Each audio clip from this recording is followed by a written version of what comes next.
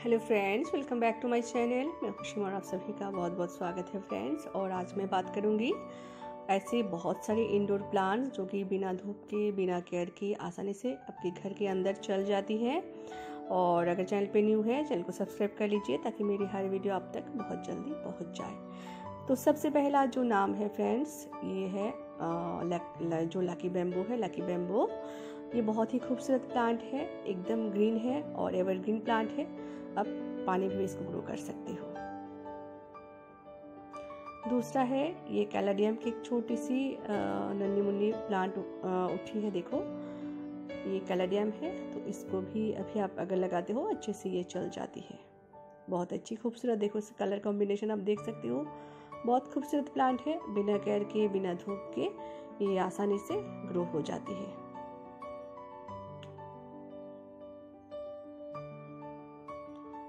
ये कैलाडियम की और एक वैरायटी है फ्रेंड्स और बहुत ही खूबसूरत प्लांट है।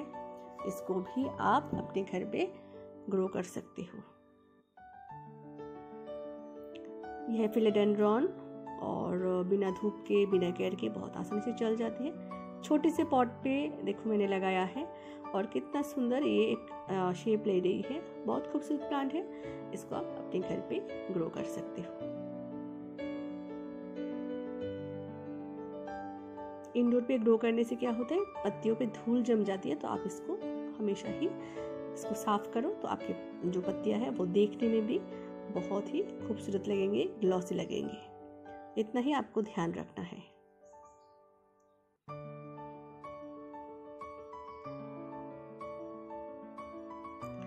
ये है फ्रेंड्स एंथोरियम एंथोरियम के भी बहुत सारी वैरायटी आपको मिल जाएँगे।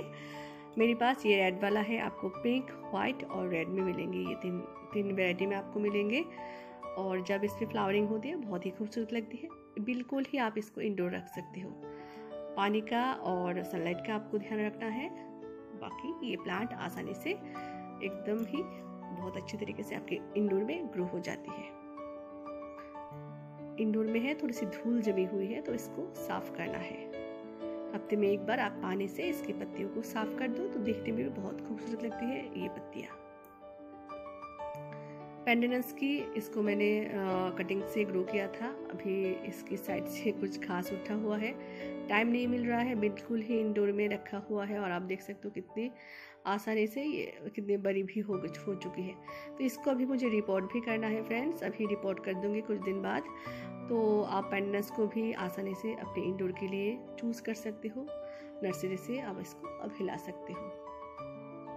कहीं पे भी आप लगा दो, इस छोटे से छोटे पॉट में भी ये चल जाती है। लेकिन बड़ा पॉट अगर देते हो तो अच्छे से ग्रो होती है। ये स्पाइडर प्लांट है। स्पाइडर प्लांट को भी आप अपने घर पे आसानी से ग्रो कर सकते हो फ्रेंड्स दो तीन वैरायटी में ये आपको मिलेंगे। ये लीव्स जो है थोड़ी सी लंबी है, छोटी लीव्स वाला भी आपको मिलेंगे। मेरे पास अभी एक ही वैरायटी की है तो स्पाइडर प्लांट को भी आप अपने घर पे ऐड कर सकते हो। ये है कैलाथिया। ये कैलाथिया पीकॉक वैरायटी की है, आप देख देख सकते हो इसके लीव्स बहुत ही खूबसूरत प्लांट है इजी ग्रोइंग इंडोर प्लांट है। आप नर्सरी से इसको भी ला सकते हो। कुछ कुछ प्लांट बहुत कॉस्टली है तो आप इसको बार्गेनिंग करके ही आप इसको लाना। मैंने इसको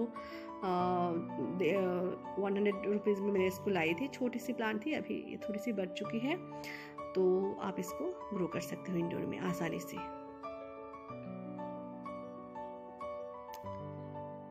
थोड़ी सी पानी का और इसकी सनलाइट का आप, आपको ध्यान रखना है। हफ़्ते में एक बार आप इसको धूप दिखा दो तो अच्छे से चल जाती है। ये है गोल्डन बैम्बू फ्रेंड्स आप देखोगे कि ऑफ़िस में या फिर कहीं भी आप देख सकते हो कुछ बैम्बू लगाया हुआ होता है, ये ये वाला बैम्बू है। कटिंग के द्वारा आसानी से ग्रो हो जाती है। इसको, इसकी जो लीव्स है, वो भी गोल्डन कलर की, इसकी स्टैम्प भी गोल्डन कलर की हो जाती है। देखने में बहुत ही खूबसूरत लगती है। तो आप इसको भी इंडोर कर सकते हो। इंडोर पे रख सकते हो और इस प्लांट को आप लगा सकते हो। कटिंग के द्वारा भी आसानी से ये ग्रो हो जाती है। और सबसे अच्छी बात है, ये जितने भी प्लांट मैं बता रही हूँ, बहुत अच्छी और लो केयरिंग प्लांट है, उतना ज़्यादा देखभाल नहीं करना पड़ता। सिर्फ़ आपको प्रॉपर देखभाल मालूम होना चाहिए। ये नियोन पोथोस है, इसको गोल्डन पोथोस भी बोलते हैं। ये भी बहुत खूबसूरत पत्तियों वाला एक प्लांट है। आप इसको हैंग कर सकते हो पॉट पे लगा सकते हो। मेरी ये पॉट पे लगाया हुआ है तो इसको एक मॉस्टिक देने की ज़रूरत है। अगर मॉस्टिक देते हो तो ये प्लांट की जो पत्तियों की खूबसूरती बहुत ही अच्छी आती है। बहुत सुंदर कलर आती है, इसको नियोन पोथोस भी बोलते हैं। इसको आप ग्रो कर सकते हो। ये एस्परागस है फ्रेंड्स एस्परागस की बहुत सारी वैरायटी आपको मिलेंगे तो ये एक वैरायटी है। ये भी आप इंडोर रख सकते हो, आपको ब्राइट सनलाइट पे इसको रखना है, अगर इंडोर पे रखते हो तो। लेकिन आपको तेज़ धूप में डायरेक्ट सनलाइट पे इसको अगर आप रखते हो तो ये ख़राब हो जाती है तो इसको भी आप इंडोर में ग्रो कर सकते हो। एस्परागस है हार्डी प्लांट है, और आप इसके लिव्स की जो ग्रीन देख सकते हो, कितनी ग्रीन है। बहुत खूबसूरत लगती है। इस प्लांट को भी आप अपने घर पे ऐड कर सकते हो। बहुत ही हार्डी प्लांट है। ये कैलातिया की और एक वैरायटी है फ्रेंड्स इसकी जो लीफ की पीछे की जो पत्तियाँ है वो रेड कलर की है। और आसान ग्रोइंग प्लांट है। आप इसको भी ग्रो कर सकते हो कैलाथिया को। कैलाथिया की आपको लगभग तीन चार वैरायटी मिल जाएँगे। मेरे पास दो वैरायटी की है कैलाथिया तो कैलाथिया को भी आप अपने घर पे बहुत ही आसानी से ऐड कर सकते हो। और बीच बीच ये सभी प्लांटों को आप थोड़ी सी खली का पानी देते रहो तो प्लांट की खूबसूरती बनती रहती है। ये शेफलेरा है, ये वेरीगेटेड शेफलेरा है, जो कि बहुत ही खूबसूरत प्लांट है। इसकी लीव्स की देखो, आप लीव्स देख सकते हो, एक साथ छः सात लीव्स एक साथ होके एक बंच में ये होती है। और ये प्लेन की वैरायटी भी मिलेंगी आपको, सिर्फ़ ग्रीन में, और ये वेरीगेटेड है। आसानी से ये ग्रो हो जाती है, कम देखभाल में इंडोर में चल जाती है। डिफेंड बेकिया को कौन भूल सकता है, लेकिन इसको लगाने के लिए थोड़ी सी आपको केयरफुल होना है। अगर आपके घर पे बच्चे हैं या फिर पेट्स हैं, क्योंकि ये थोड़ी सी पॉइजनस है तो डिफेंड बेकिया को भी आप ग्रो कर सकते हो आसानी से। ये आपको लगभग दो वेराइटी में मिलेंगे नर्सरी में, और थोड़ी सी आपको केयरफुली इसको लगाना है। बहुत खूबसूरत प्लांट है। कटिंग के द्वारा स्टेम कटिंग से आसानी से ये ग्रो हो जाती है। मैंने इसको देखो, एकदम प्लांट के बीच में रख दिया है तो इसकी जो कलर है, वो बहुत अच्छे से खिल रही है। ये रबर प्लांट है फ्रेंड्स इसको मैंने कटिंग के द्वारा ही ग्रो की थी। अच्छे से अभी ग्रो हो रही है और बहुत खूबसूरत प्लांट है। आसानी से ग्रो होने वाली प्लांट है। और बहुत ही अच्छी एयर प्योरीफायर भी है। एक बार आप इसको लगा दो तो आपकी प्लांट अच्छे से चल जाती है। जब लगाई थी ब्राउन कलर की थी, अभी बाहर रखा है तो ये ग्रीन कलर की हो चुकी है। ये आप घर के अंदर आसानी से ग्रो कर सकते हो या फिर बैल्कोनी गार्डनिंग में भी आप इसका इस्तेमाल कर सकते हो। ये ड्रेसेना की एक वेराइटी है। इसकी जो लीव्स की लीफ की कलर है, आप देखो। येलो और ग्रीन में है। इसकी पत्तियाँ थोड़ी सी चौड़ी होती है। तो बहुत खूबसूरत वैरायटी है। ड्रेसेना की बहुत सारी वैरायटी आपको मिलेंगे। मेरे पास लगभग दो तीन वैरायटी है। ये इंडोर में आसानी से चल जाती है।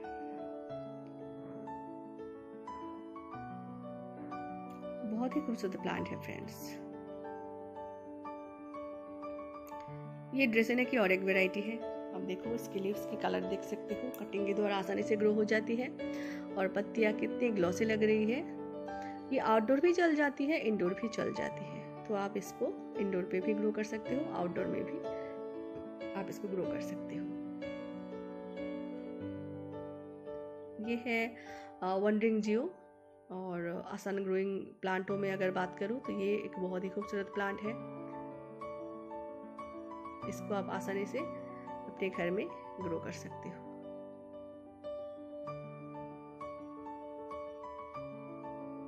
कटिंग के द्वारा आसानी से ये ग्रो हो जाती है।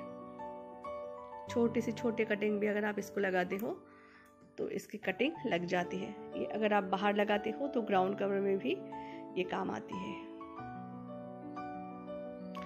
फ्रेंड्स, ये है ड्रेसिना की और एक वैरायटी। ये वाइट और ग्रीन में है। कटिंग के द्वारा आसानी से ग्रो होती है। इंडोर आउटडोर दोनों तरफ़ ही ये चल जाती है। तो आप इसको ग्रो कर सकते हो।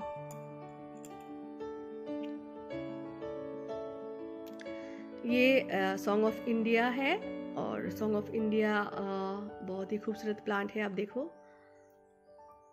इसकी लीव्स भी बहुत ही खूबसूरत है। इसको भी आप ग्रो कर सकते हो। कटिंग के द्वारा आसानी से ये ग्रो हो जाती है। छोटी से छोटी कटिंग भी आप इसकी लगा लगा सकते हो। और ये इसकी खास बात है कि आप इसको पानी में भी ग्रो कर सकते हो। ये ड्रेसिना मर्जिनाटा है फ्रेंड्स ड्रेसिना मर्जिनाटा को भी आप ग्रो कर सकते हो इंडोर में। मैंने इसको बारांदा की साइड में मैंने रखा है। थोड़ी सी बड़ा पॉट मैंने इसको दे दिया तो इसकी साइड से कुछ ट्रायंगल हार्ट की कटिंग मैंने लगा रखी है ताकि ये जो पॉट ना दिखे, ये भर जाए। तो इसको भी आप आसानी से ग्रो कर सकते हो। ये पाम है फ्रेंड्स, ये एरिका पाम है, जो कि बहुत ही खूबसूरती बढ़ाने में मदद करती है आपके घर के अंदर की। एयर प्यूरिफाइंग प्लांट भी है तो आप इसको भी घर के अंदर आप इसको ग्रो कर सकते हो। एक बार अगर आप लगाते हो तो थोड़ी सी केयर करने से एक प्लांट से ढेर सारी प्लांट भी बन जाती है और बहुत ही खूबसूरत प्लांट है, आसानी से ग्रो हो जाती है। ये सिंघोनियम है, इसको एरोहेड भी बोलते हैं। इसकी शेप के कारण इसको एरोहेड बोलते हैं। इसकी दो या तीन कलर आपको मिल जाएँगे मार्केट में। मेरे पास दो कलर है। इसकी पिंक कलर की वैरायटी भी बहुत ही खूबसूरत होती है। तो आप इसको भी अपने घर पे, अपने गार्डन में इंडोर गार्डन में ऐड कर सकते हो। आप इसको हैंग भी कर सकते हो। देखो, यहाँ और एक वैरायटी है सिंगोनियम की, आप देख सकते हो। ये ग्रीन और वाइट की कॉम्बिनेशन में है। छोटी सी कटिंग मैंने लगाई थी और ये बहुत अच्छे से ये ग्रो हो रही है। अगर बात करो फ्रेंड्स देखो, पत्तियों की ये बर्ड ऑफ़ पैराडाइज है। अगर आप इसको अंदर अंदर रखते हो तो इस पर फ्लावर नहीं होंगे, लेकिन इसकी पत्तियों की खूबसूरती आपको बहुत अच्छी लगेगी। ये ब्राइट सनलाइट पे ही चल जाती है, लेकिन आपको अगर फ्लावर चाहिए तो आप इसको बाहर रखो। बारिश में ओले गिरे थे तो देखो, पत्तियाँ खराब हो चुकी हैं। केले की पत्तियों की तरह है इसकी पत्ती तो मुझे बहुत ही खूबसूरत लगती है। और आप अगर पत्तियों की खूबसूरती चाहते हो तो आप इसको घर के अंदर रख सकते हो। अगर फ्लावर चाहते हो तो आप इसको सनलाइट में रखो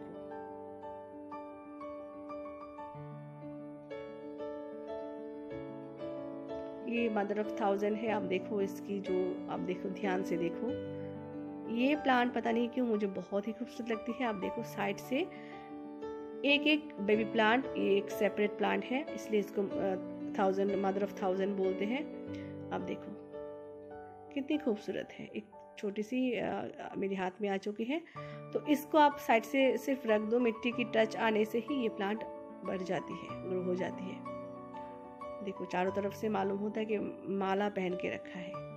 कितनी खूबसूरत प्लांट है। नेचर भी अजीब है इतनी सुंदर इत, इसकी जो क्रिएटिविटी है, मैं क्या बोलूँ? बहुत ही खूबसूरत है। आप देखो एक एक प्लांट की खूबसूरती अलग अलग है। ये स्नेक प्लांट की वैरायटी है फ्रेंड्स ये स्नेक प्लांट की एक वैरायटी है। इस, इसके लीव्स आप देख सकते हो। ये एक इजी ग्रोइंग प्लांट है। एयर एयर प्योरीफाइंग प्लांट भी है। इसको मदर मदर इन लॉ टांग भी बोलते हैं इसको।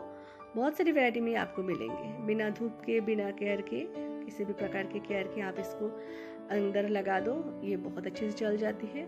मेरी ये प्लांट से बहुत सारे प्लांट उठा हुआ एक प्लांट लगाई थी और बहुत सारी प्लांट अभी हो हो गई है। देखो मल्टीप्लाई हो चुकी है।